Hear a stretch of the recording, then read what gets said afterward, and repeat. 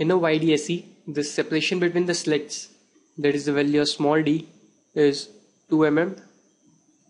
The wavelength of the light used is 600 mm, sorry nanometer, and the distance of the screen from the slit is 2 meter.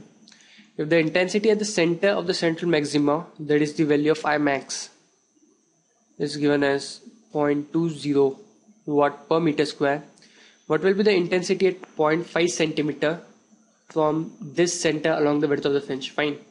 Now one thing that first of all I have to calculate the path difference at the point 0.5 centimeter away from the central fringe. Fine.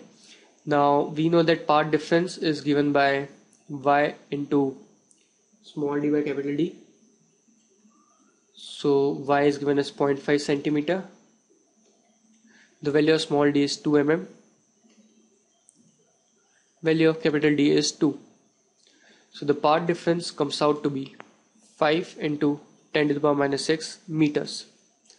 Now the phase difference is given by 2 pi by lambda into path difference. So substituting the values I have value of lambda as 600 nanometer to 5 into 10 to the power minus 6. So the phase difference comes out to be 16 pi plus 2 pi by 3 it can be written as 2 pi by 3 because the 16 pi will result into the same phase as 2 pi by 3 is.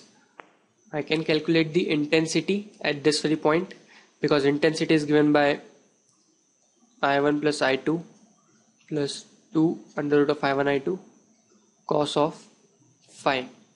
Alright, now let's say the intensity will be same at the two slits. It will be I 0 and let it be again I 0 plus 2 I 0 cos of 2 pi by c.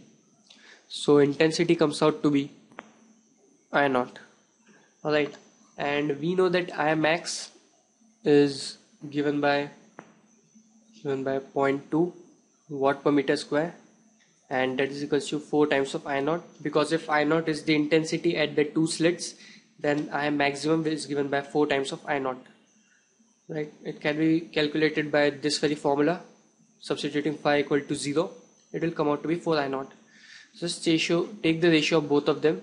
I, it comes out to be i by i max is equal to i naught by 4 i naught. So i naught gets cancelled. I max value is 0.20 equals to 1 by 4 so the value of i comes out to be 0.5 watt per meter square. That is the answer